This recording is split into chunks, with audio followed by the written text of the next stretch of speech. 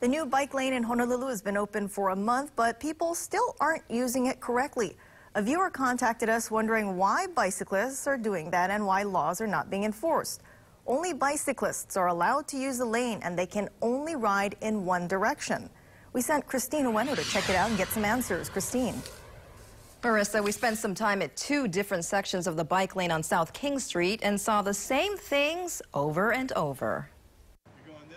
Honolulu has never had anything like it. And a month after the bike lane was installed, What do you think of the bike lane?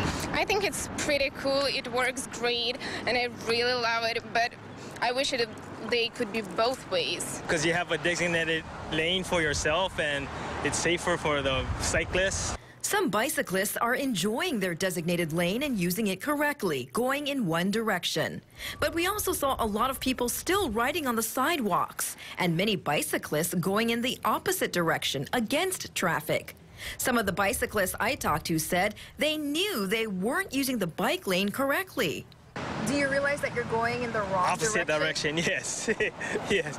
But so far, they haven't started citing the cyclists going in the opposite direction. They say they were at one time, but they haven't started yet. So you thought you'd give it a try Yes, until they start enforcing yes, yes. I called the city and HPD and asked what they're doing about enforcement since the bike lane's been open for a month now.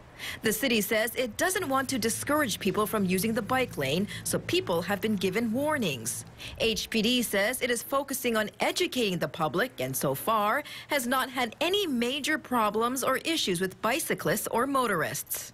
Right now, bicyclists are only supposed to ride in one direction with the flow of traffic, but that's expected to change later this year. Not everyone is looking forward to it because some drivers are already complaining of safety issues. especially if you're coming out of driveways and people are not prepared to look to the left for bikers who's coming the opposite direction.